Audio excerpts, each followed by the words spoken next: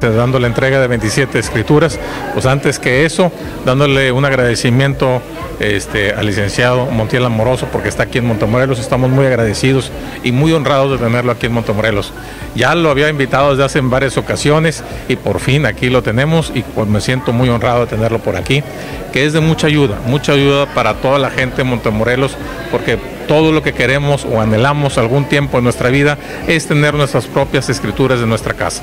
y con esto pues realmente este, le, damos, le damos una certeza jurídica a todas estas familias que vienen a que eh, por sus papelerías, por sus escrituras, para que se las podamos entregar. Sí, claro, este, pues yo también agradeciéndole al señor presidente municipal su invitación y bueno, reconociendo lo que él acaba de comentar. Yo creo que no hay más eh, satisfacción para una familia que contar con su patrimonio propio y eso es lo que queremos hacer en Fumerrey, lo venimos haciendo y en coordinación con los presidentes municipales. Hoy nos toca estar aquí en Montemorelos, donde traemos pues cerca de 27 eh, escrituras que se suman a las anteriores de toda la administración del gobernador Jaime Rodríguez para dar pues tranquilidad a más de 100 familias. Pero además de ello pues iniciamos la contratación de un nuevo fraccionamiento, bueno, una regularización del del fraccionamiento Miguel Hidalgo y ya también aquí el presidente municipal nos está haciendo la solicitud para iniciar trabajos de brigadas de topografía en cinco fondos legales que se van a traducir a su vez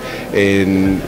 escrituras, en títulos de propiedad y que es lo que le da certeza jurídica a las familias de Montemorelos. Así es que pues este es el arranque, el inicio, mi alcalde, de muchos trabajos que vamos a hacer en conjunto y que yo tengo la instrucción del gobernador pues de estar siempre pendiente y atendiendo las necesidades de ustedes los alcaldes. Así es que cuenta con nosotros y vamos a estar aquí al pendiente a las familias de Montemorelos.